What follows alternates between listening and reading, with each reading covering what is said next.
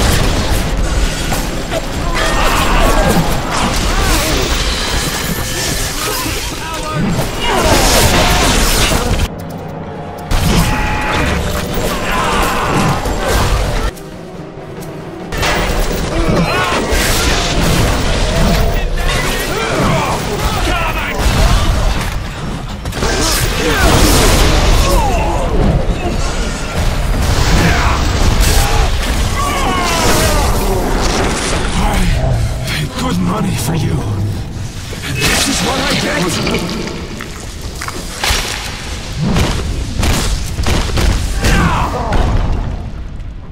I had you built. I sent you topside. I called you back, showed you what you was, what you was capable of.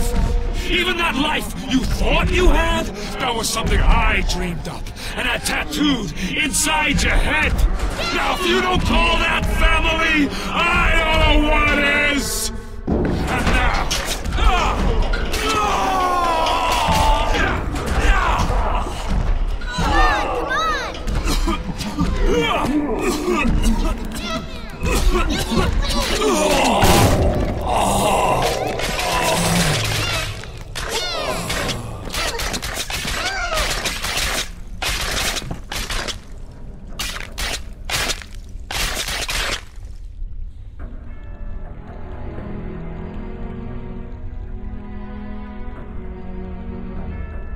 They offered you this city.